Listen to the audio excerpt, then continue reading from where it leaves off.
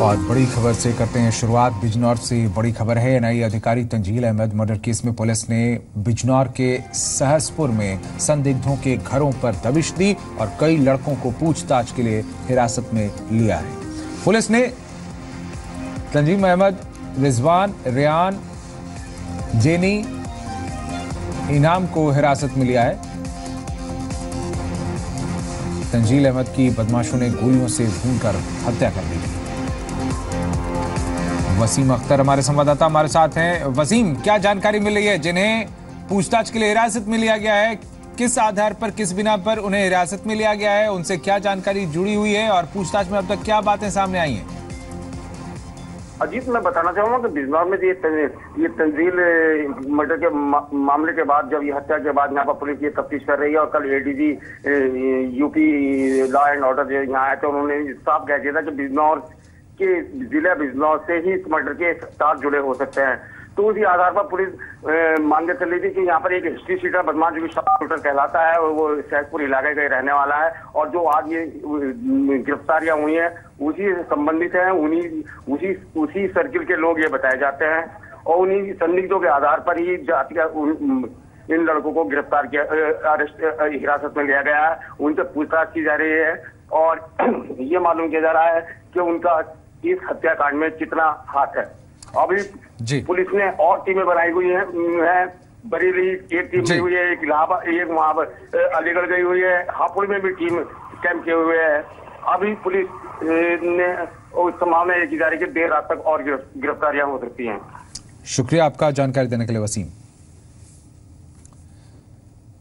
और इधर बीएसपी सांसद नरेंद्र कश्यप और उनकी पत्नी को सीने में दर्द की शिकायत के बाद अस्पताल में भर्ती करवाया गया है। वहीं मृतक हिमानी के परिजनों ने नरेंद्र कश्यप पर हमला किया। उनकी गाड़ी में तोड़फोड़ की, कोशिश भी की।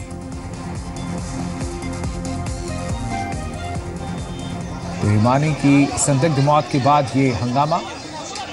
बीएसपी सांसद नरेंद्र कश्यप और उनकी पत्नी को सीने में दर्द की शिकायत के बाद अस्पताल में भर्ती करवाया गया है, जबकि मृतक हिमानी के परिजनों ने नरेंद्र कश्यप पर हमला किया। उनकी गाड़ी में तोड़फोड़ की कोशिश की।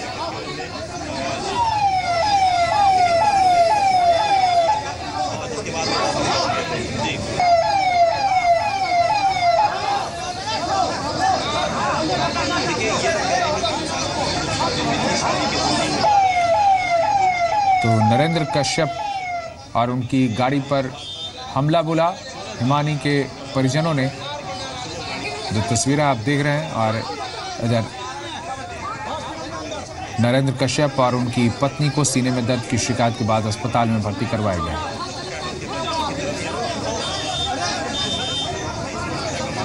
यादराम हमारे संवाददाता हमारे साथ हैं। यादराम, जिस तरीके से हिमानी के पिता ने उनके परिजनों ने सीधे सीधे आरोप लगाए हैं नरेंद्र कश्यप पर, उनके परिवार पर।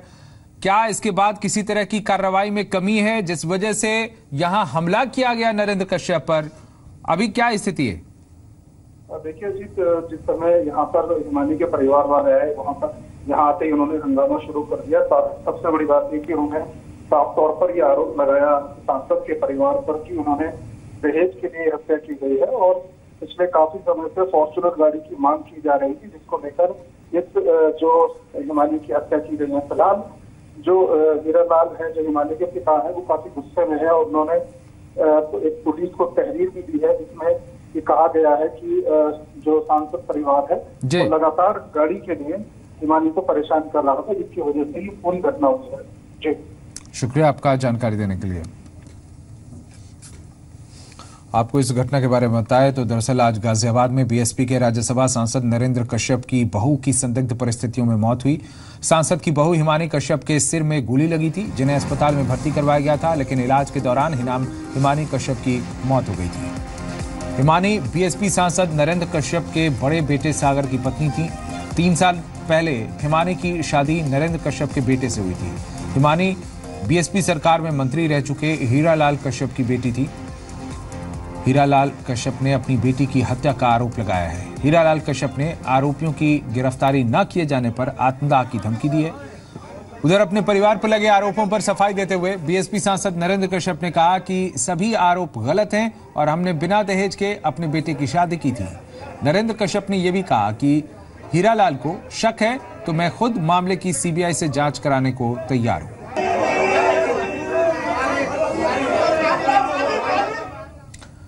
और हिमानी की मौत के बाद उनके पिता ने जहाँ ससुराल पक्ष पर दहेज हत्या का आरोप लगाया तो ससुर नरेंद्र कश्यप ने सभी आरोपों को खारिज करते हुए कहा कि वो मामले की सीबीआई जाँच के लिए भी तैयार हैं। हत्या की है इन लोगों ने जानबूझ के हत्या की है गोली मारी है। अभी 25 तारीख को आई थी गाड़ी कह रहे थे गाड़ी दो गाड़ी मांग रहे थे। अगर हमने कभी कोई दहेज की बात की होती दहेज की मांग की, की होती तो हमारे खिलाफ या परिवार के खिलाफ कभी कोई कंप्लेंट हुई होती। करीब साढ़े ग्यारह पौने बारह बजे मैं, मेरा परिवार नीचे हम लोग बैठे थे। वो था जो लड़की का बच्चा, वो भी नीचे था। बीच में उस बच्चा रो रहा था। मेरी मिसिज ने कहा कि बच्चा रो रहा हिमांशु को बुलाओ, दूध पिला देगी। ऊपर बच्चा भेजा देखने के लिए तो गेट लगा हुआ था, खुल नहीं रहा था। उन्होंने बताया कि ऊपर गेट लगा हुआ है, जल्दी ऊपर आओ। हम ऊपर गए तो गेट तोड़ा, देखा तो अंदर वो पड़ी हुई थी, खून निकला हुआ था सिर से, और फिर देखा तो उसके पास रिवॉल्वर पड़ा हुआ था। बिल्कुल दुर्भाग्यपूर्ण है। ये बात सही है कि हीरालाल कश्यप बहुत नेक और शरीफ आदमी है। उसका परिवार शरीफ रहा। उसकी बेटी बहुत शरीफ, लायकवर। मैं भी उसके लिए हमेशा इस तरह से बिहेव करता था जैसे मेरा बच्चा हो। तो दोनों पक्षों की बातें आपने सुनी, फिर हुआ क्या? ये गंभीर सवाल है। अब इस पर विवेचना जारी है, जाँच कर रही है पुलिस। बहरहाल, इधर सियासत की अगर बात करें, उत्तराखंड के सियासी संकट पर आज नैनीताल हाई कोर्ट में कोई फैसला नहीं हो सका। मामले की सुनवाई कल भी जारी रहेगी। इससे पहले आज हाई कोर्ट ने मामले की सुनवाई दो दिन के लिए टालने की केंद्र की अपील को खारिज कर दिया था। आज कोर्ट में कांग्रेस की तरफ़ से अभिषेक मनु सिंघवी ने राष्ट्रपति शासन लगाने के केंद्र सरकार के फैसले के खिलाफ जोरदार दलीलें दी। सिंघवी ने केंद्र की मंशा पर सवाल उठाते हुए कहा कि राष्ट्रपति शासन का प्रयोग या दुरुपयोग दो चीज़ों को हटाने के लिए किया गया। पहला 28 तारीख को राज्यपाल के आदेश को लागू होने से रोकने के लिए और दूसरा, स्पीकर के फैसले को प्रभावित करने के लिए।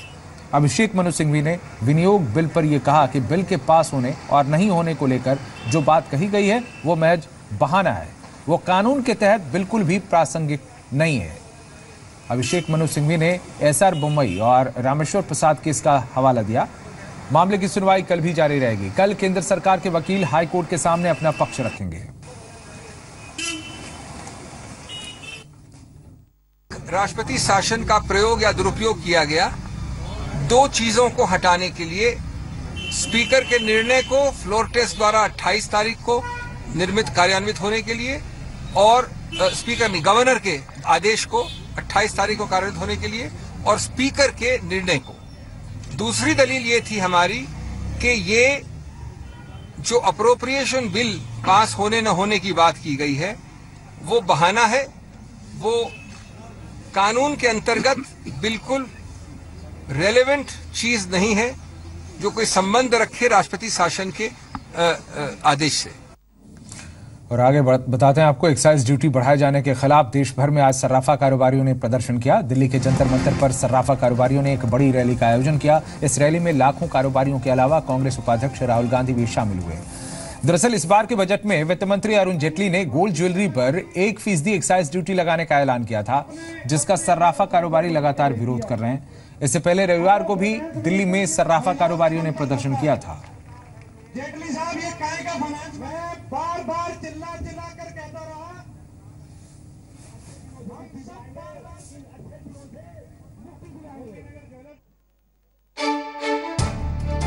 एक्साइज ड्यूटी के विरोध में ज्वेलर्स का विरोध प्रदर्शन लगातार जारी है। बुधवार को देश भर से जुटे ज्वेलर्स ने दिल्ली के जंतर मंतर पर प्रदर्शन किया। प्रदर्शनकारी ज्वेलर्स को कांग्रेस का भी साथ मिला। जंतर मंतर पर ज्वेलर्स के प्रदर्शन में कांग्रेस उपाध्यक्ष राहुल गांधी शामिल हुए। राहुल गांधी ने आरोप लगाया कि मोदी सरकार छोटे व्यापारियों का दमन कर रही है। ये बिग बिज़नेस का बब्बर शेर है। पाँच, छह, सब बिग बिज़नेस नहीं, मगर पाँच, छह बिग बिज़नेस वालों का। और उन लोगों का बब्बर शेर है जो आपका खून चूसना चाहते हैं। जो टैक्स डिपार्टमेंट में लोग हैं, जो आपके काम आपका पैसा आपसे छीनना चाहते हैं और लेना चाहते हैं बिना कोई काम करे। दलाली कर कर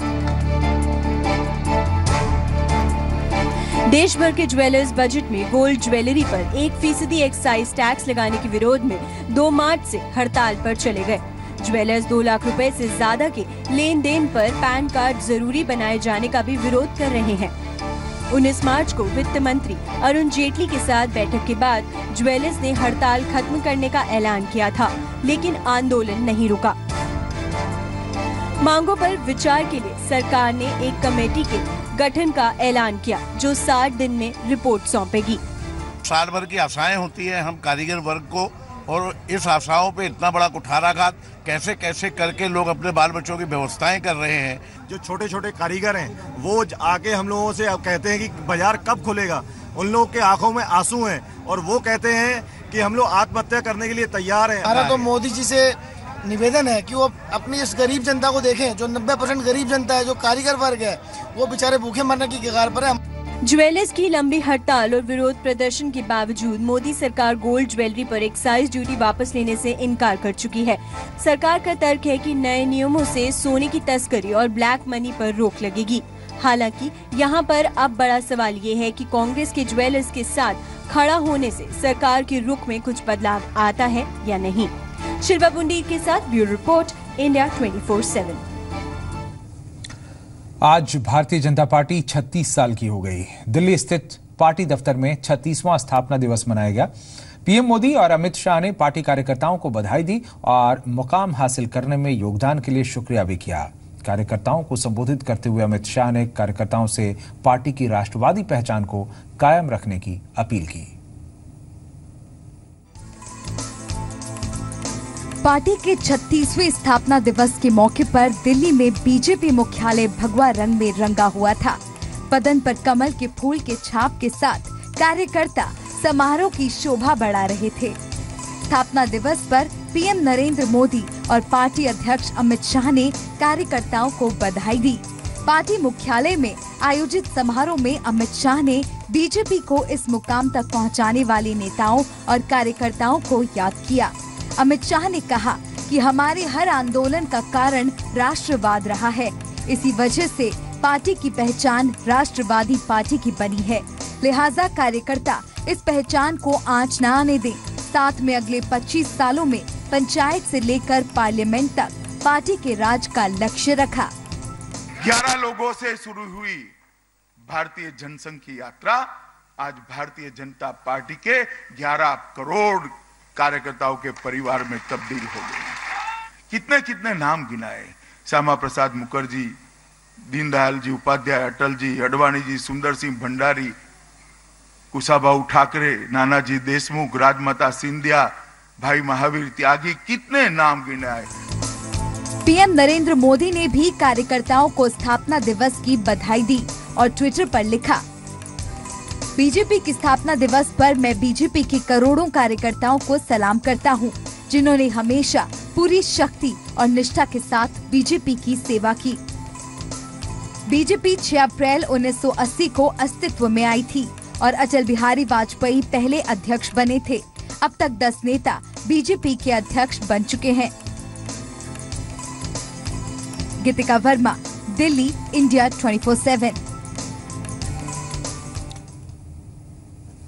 और इधर बीजेपी के वरिष्ठ नेता लाल कृष्ण आडवाणी की पत्नी का निधन हो गया। कमला आडवाणी का दिल का दौरा पड़ने से निधन हुआ। दिल्ली के एम्स में कमला आडवाणी ने आखिरी सांस ली। 25 फरवरी को ही लाल कृष्ण आडवाणी ने अपनी शादी की 50वीं सालगिरह मनाई थी। कमला आडवाणी के निधन पर पीएम नरेंद्र मोदी समेत कई बड़े नेताओं ने शोक जताया है।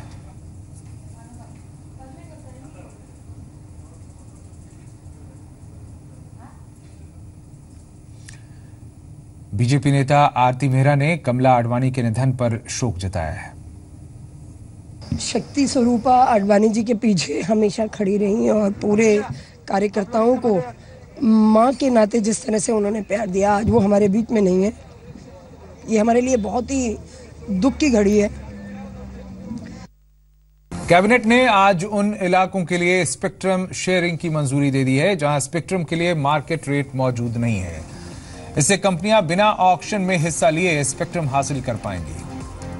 साथ ही कैबिनेट ने चार सर्किल में 800 मेगाहर्ज स्पेक्ट्रम की ट्रेडिंग को मंजूरी दे दी। कैबिनेट ने व्योम में एटीसी की इक्यावन परसेंट हिस्सा खरीद को भी मंजूरी दे दी है। ये हिस्सा पाँच सौ करोड़ रुपए में खरीदा जाएगा। कैबिनेट ने नई क्रूड इंपोर्ट पॉलिसी को भी मंजूरी दी है। इस नई पॉलिसी के लागू होने से ऑयल मार्केटिंग कंपनियों को स्पॉट मार्केट से क्रूड खरीदने में आसानी होगी। मौजूदा नीति से ऑयल मार्केटिंग कंपनियों को इंपोर्ट में वक्त लगता है। इससे इंडियन ऑयल बीपीसीएल और एचपीसीएल को फ़ायदा होगा। The meaning of this cabinet decision is that wherever an administratively allocated spectrum is available whose liberalization is sought and whose market determined price is not available, then in that case, the TRI's recommendations for auction for the price shall be taken as a provisional standard, and after actual auction, the balance will be taken. केंद्र सरकार के एक नए प्रस्ताव के मुताबिक अगर किसी कर्मचारी ने एक साथ दो शादियाँ की हुई हैं तो उसे इसकी जानकारी अपने सर्विस बुक में देनी होगी कार्मिक प्रशिक्षण विभाग ने कर्मचारियों के सर्विस बुक का नया फॉर्मेट जारी कर दिया है। इस नए सर्विस बुक में कर्मचारियों को अपने दो विवाह के बारे में बताना होगा, यानी एक साथ दो पत्नी या दो पति होने की जानकारी देनी होगी। मौजूदा नियमों के मुताबिक केंद्र सरकार का कोई भी कर्मचारी सरकार की इजाज़त के बिना एक साथ दो शादियाँ नहीं कर सकता। उत्तर प्रदेश में मिशन 2017 को लेकर समाजवादी पार्टी अमेरिकी विशेषज्ञों से अब सहायता लेगी। समाजवादी पार्टी ने अमेरिका में हिलरी क्लिंटन का चुनाव प्रचार संभाल रहे डेमोक्रेटिक पार्टी के सलाहकार गिराल्ड आस्टीन से सहायता लेने का मन बनाया है। इसके अलावा समाजवादी पार्टी ने अपने युवा नेताओं के एक पैनल को अगस्त में अमेरिका भेजने का निर्णय लिया है, जो अमेरिका में तीन माह तक यूएस चुनाव की बारीकियों को जानने की कोशिश करेगा। अगले साल होने वाले यूपी विधानसभा के चुनाव काफ़ी हाईटेक होंगे, जहाँ कांग्रेस ने प्रशांत किशोर की सेवाएँ लेने का फैसला किया है। तो वहीं एसपी ने भी इंटरनेशनल तौर तरीकों से चुनाव लड़ने का फैसला किया है। पार्टी नेता और सरकार में मंत्री अभिषेक मिश्र ने ट्वीट के ज़रिए इसका ज़िक्र किया था। वैसे पार्टी नेता ये ज़रूर मानते हैं कि रणनीति के लिए पार्टी कई स्तरों पर काम कर रही है, पर उसका चेहरा अखिलेश यादव और छवि उनकी सरकार की उपलब्धियाँ होंगी। समाजवादी पार्टी में 2017 में चेहरा कौन होगा? माननीय मुख्यमंत्री जी होंगे, ये तय है। जहाँ तक चुनावी रणनीति का सवाल है, ये सच है कि चुनावी रणनीति बनती है अलग अलग बनती है। अभी हम लोगों की साइकिल रैली तय हुई है, वो चुनावी रणनीति का हिस्सा है। स्टिकर और सॉन्ग जिस तरीके से भी हम अपनी विचारधारा को हम पब्लिक के बीच पहुँचा सकते हैं, वो सारे तरीके हम लोग अपनाएँगे। पार्टी के युवा नेताओं के अमेरिकी दौरे को सीएम अखिलेश यादव की मंजूरी मिल चुकी है। इस दौरान समाजवादी पार्टी के युवा नेता अलग अलग जगहों पर चुनाव प्रक्रिया को देखेंगे। समाजवादी पार्टी ने अमेरिका दौरे के लिए 11 युवा नेताओं को चुना है। समाजवादी पार्टी के युवा नेता राष्ट्रपति पद के उम्मीदवारों के कैंपेन स्टाफ के साथ भी रुकेंगे। समाजवादी पार्टी ने पिछले साल ही 2017 के विधानसभा चुनाव के लिए अमेरिकी डेमोक्रेटिक पार्टी के सलाहकार गिरोल्ड जे. ऑस्टिन की सेवाएँ लेने का फैसला कर लिया था। गेराल्ड ऑस्टिन वही है जिन्होंने अमेरिका में जिमी कार्टर, बिल क्लिंटन और बराक ओबामा के लिए चुनाव प्रचार अभियान में अहम भूमिका निभाई थी। गेराल्ड ऑस्टिन पिछले चार दशकों से अमेरिकी चुनाव में अपनी पार्टी के लिए रणनीति बना रहे हैं। गिराल्ड ऑस्टिन ने पिछले साल नवंबर माह में लखनऊ में अखिलेश यादव से मुलाकात की थी। अब कंप्यूटर से लैस ये पीआर कंपनियों के लोग कुछ सर्वे करेंगे और एक खास तरह का निष्कर्ष निकालेंगे और जिसके आधार पर वो राजनीतिक दलों की रणनीतियाँ तय करेंगे। यह इस देश में पिछले डेढ़ दशकों में ये दिखाई पड़ा है जो राजनीतिक संस्कृत के लिए बहुत ही दुर्भाग्यपूर्ण है। हालाँकि विपक्ष को ये रास नहीं आ रहा है। बीजेपी का कहना है कि एसपी पहले अपना एजेंडा रखें। समाजवादी पार्टी के रणनीतिकार फ्रंट पे लड़ रहे हैं बाहर से ला रहे हैं। पर चाहे कुछ भी कर लें। कांग्रेस पहले समाजवादी पार्टी के पिछलग्गू होने से तो हटे। बड़ा सवाल ये उठता है कि जब सियासी दल पीआर कंपनियों का सहारा लेंगे तो पार्टी कार्यकर्ताओं का क्या होगा? एक तरफ़ युवा सीएम अखिलेश और उनकी समाजवादी सरकार की छवि तो दूसरी तरफ़ एक अमेरिकी पीआर कंपनी जो संभालेगी उत्तर प्रदेश में समाजवादी पार्टी का चुनावी अभियान। बिहार, गुजरात और देश के लोकसभा चुनाव में चुनावी सफलता का झंडा गाड़ने के बाद पीआर कंपनियों की असली अग्नि परीक्षा उत्तर प्रदेश के चुनावी अखाड़े होंगे।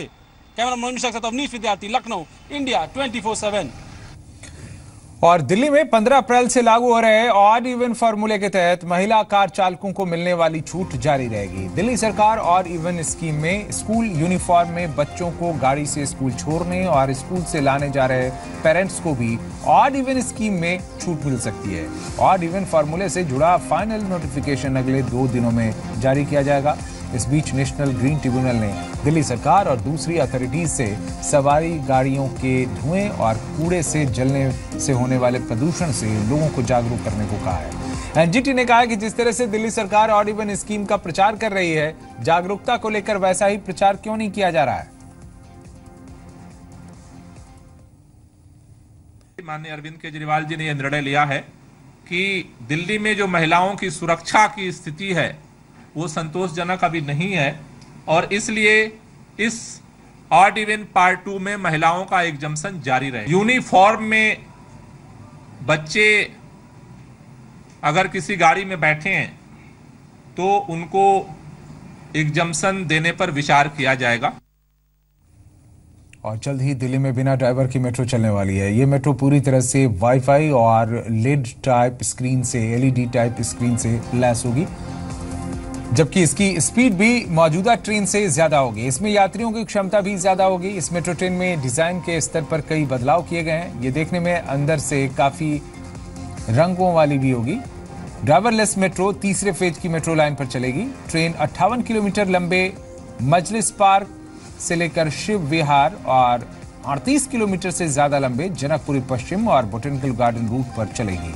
इस मेट्रो में ऐसी सिग्नल प्रणाली का इस्तेमाल किया जा रहा है। जो केवल विश्व के चुनिंदा शहरों में है। दिल्ली मेट्रो ने दक्षिण कोरिया से 20 ड्राइवरलेस मेट्रो ट्रेनें मंगाई हैं।